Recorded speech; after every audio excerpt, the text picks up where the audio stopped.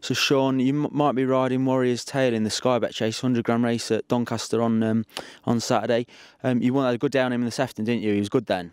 Yeah, very very impressive that day. Um, I think he probably wanted a little bit cosy, and, and that was on soft ground. We never really thought he wanted soft ground, so um, yeah. Look, I I'm I'm hoping he's got every chance, and, and the good ground I think will will help him again.